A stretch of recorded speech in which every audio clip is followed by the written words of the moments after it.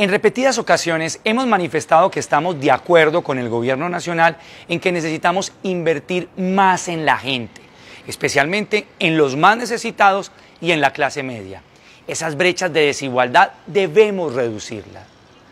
Yo propuse una fórmula distinta a la reforma tributaria del gobierno de Petro para conseguir los recursos. Primero, reducir el tamaño del Estado. Segundo, bajar los gastos de funcionamiento. Y tercero, eliminar los subsidios a los que no lo necesitan, a los no pobres. Con estos cambios podríamos tener más recursos que con la reforma tributaria, más rápido y sin afectar el bolsillo de los colombianos, sin que hablemos de la lucha contra la evasión y el contrabando. Pero parece que nuestra propuesta no les gustó porque ni siquiera tuvimos la oportunidad de que nos respondieran. Como decidieron seguir adelante con su proyecto, yo les quiero responder a su propuesta. Aquí les presento mis 10 puntos a los que vamos a decirles no en la reforma tributaria. Mi primer no es a subirle el precio a los productos de consumo básico, como el arroz, la panela, el chocolate, el papel higiénico, las salchichas y el jamón. El bolsillo hoy no alcanza, entonces, ¿con qué vamos a comer? ¿Con qué va a comer la gente? Mi segundo no es la eliminación de los beneficios que tienen los caficultores. Esto afecta a nuestras familias cafeteras y sube el precio del café que nos tomamos todos los días. No podemos darle la espalda al producto insignia del país. Por el contrario, yo gestionaré más recursos para apoyar a los cafeteros de Colombia.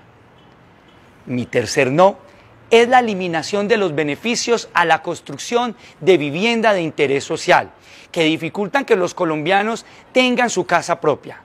Tener casa no es riqueza, pero no tenerla sí es mucha pobreza.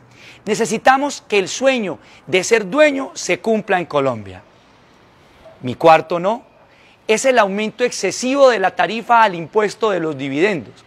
Esto afecta directamente a la generación de empleo, la inversión y el crecimiento del país, no al incremento desmedido de la doble tributación.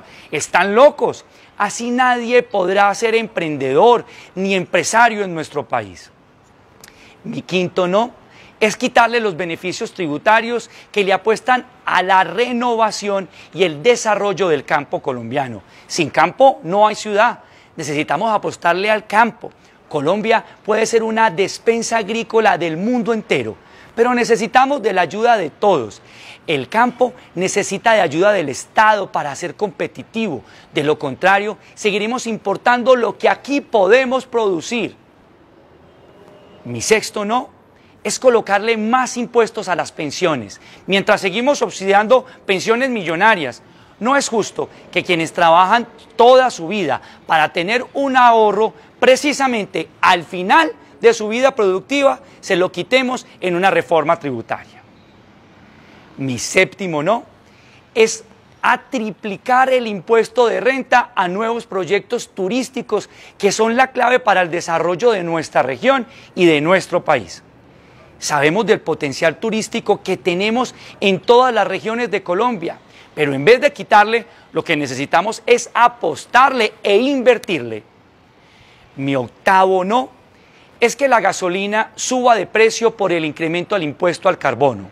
Si sube la gasolina, sube todo. Sube el precio del transporte público, sube el valor de los alimentos y se incrementa la vida diaria de los colombianos. Mi noveno no es el aumento del impuesto de la llamada ganancia ocasional. Por ejemplo, cuando se recibe una herencia o cuando se vende sus casas o apartamento.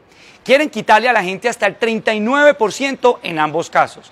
La gran mayoría de colombianos queremos trabajar para vivir y para dejarle a nuestros hijos, no para entregarles casi la mitad de lo que trabajamos al Estado.